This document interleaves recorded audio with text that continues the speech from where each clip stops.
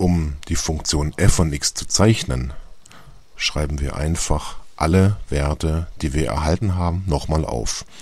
Wir hatten die Nullstellen bei plus minus 2 Strich 0, die tragen wir mal ein. Eine Nullstelle bei minus 2, eine bei plus 2.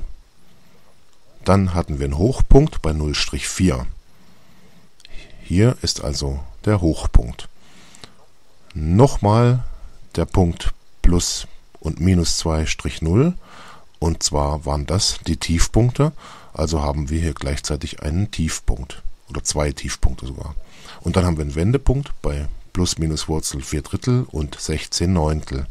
Solche Wurzeln und Brüche können wir natürlich nicht eintragen. Wir nehmen einfach die Kommazahlen für die Zeichnung, also tippen wir das Wurzel 4 in den Taschenrechner ein und das gibt gerundet 1,155 für den x-Wert und der y-Wert 16 durch 9 sind gerundet 1,778.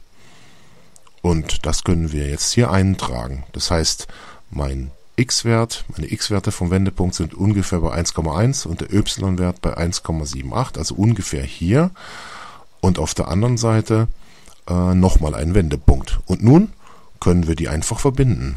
Am einfachsten fängt man bei Hoch- und Tiefpunkten an, weil vom Tiefpunkt aus geht es in beide Richtungen nach unten, äh, vom Hochpunkt und vom Tiefpunkt geht es nach beide Richtungen nach oben und hier auch.